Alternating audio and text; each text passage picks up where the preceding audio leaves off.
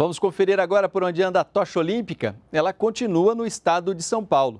Hoje, a chama dos Jogos Rio 2016 passou pelas cidades de Suzano e Mogi das Cruzes, na Grande São Paulo, Jacareí e São José dos Campos, no Vale do Paraíba. Amanhã segue para Taubaté, São Luís do Paraitinga e Ubatuba, ainda em terras paulistas. E finalmente chega ao estado do Rio de Janeiro, onde vai passar primeiro por Paraty e em seguida Angra dos Reis.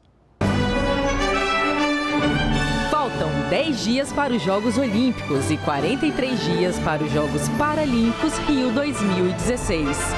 NBR, somos todos Brasil!